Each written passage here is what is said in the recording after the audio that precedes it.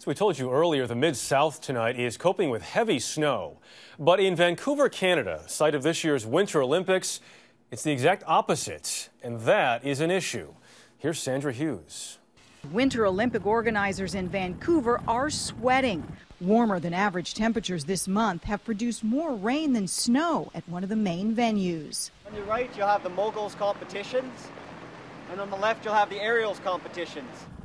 The problem is on Cypress Mountain, just outside the city of Vancouver, where the freestyle skiing and snowboarding events are planned, and where it feels a lot like spring. You know, my garden has crocuses coming out already. The warm weather has made snowmaking at lower elevations impossible, so artificial snow from higher up is being brought in. So far, over 300 truckloads have arrived.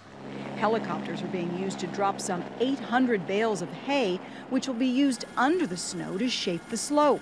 We have enough snow on the mountain to do what we need to do. There's plenty of snow at nearby Whistler Mountain, which is at a higher elevation and is the site for most of the alpine skiing events.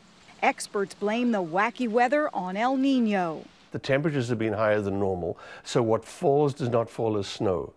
Forecasters measuring Pacific Ocean warming trends knew the El Nino effect was on its way back in July of last summer. Still, that was too late to rearrange venues. Historically, you just never know with Winter Olympics weather. At the 1964 Austrian Games, the Army had to be called in to haul snow down the mountaintop. At the 1988 Nagano Games, there was too much snow. You're going to find the International Olympic Committee demanding of organizing uh, committees for the Winter Olympics. What's your contingency plan in case there's not enough snow? The athletes in Vancouver say they're ready to compete even on a half pipe made of hay. Sandra Hughes, CBS News, Los Angeles.